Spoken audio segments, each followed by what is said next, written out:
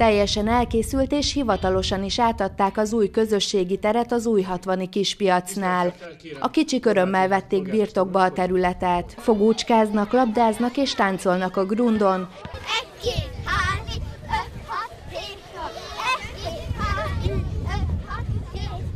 szeretnék ide kijárni, mert nekem nagyon tetszik ez az egész, és hát szerintem itt mindenféle jót focizni, kosára dobni, ilyesmiket.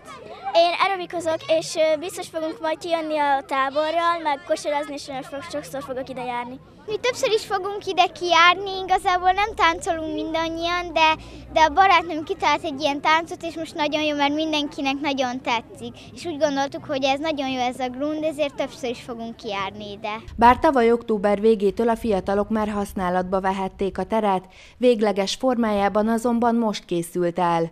A több mint 480 négyzetméteres terület öntött gumiborítást kapott. Foci, kosár, tegból, valamint egy pingpongpálya is várja a sportolni vágyókat, melyet egy 5 méter magas védőhálóval kerítettek körbe. A Grunda közösségi költségvetés részeként csak nem 33 millió forintból valósult meg.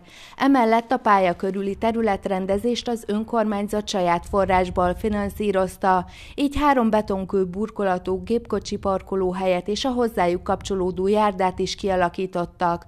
Padokat, kerékpártárolókat, információs táblát és hulladékgyűjtő edényeket is kihelyeztek a területre.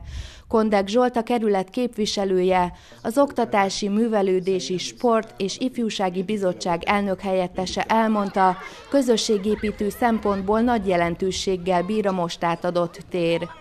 Ez a sportolóknak egy kiváló lehetőség, hogy itt összegyűjjönek, jól érezzék magukat, mozogjanak. Itt ebbe a centrum részbe, tulajdonképpen új 60 centrumában most már a második ilyen beruházás valósul meg, amiben sportolni tudunk, hiszen itt a Kondi Park, és itt van ez a Grund.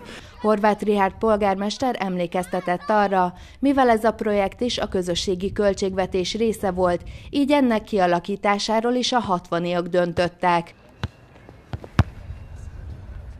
Elkészült a pálya, és akkor volt az érdeklődés, hogy bár be volt zárva az ajtó, de rengeteg gyerek használta a pályát, bemásztak a háló alatt, és használták a pályát, ezért mi akkor úgy döntöttünk, hogy kinyitjuk, majd most elkészült a, a pályának környezetének is a rendezése, minden, amit terveztünk, az elkészült, és most átadtuk hivatalosan a hatvaniaknak a grundot. Horváth Rihárd felhívta a figyelmet arra, hogy az idei közösségi költségvetés projektjeire még április 9-éig lehet szavazni.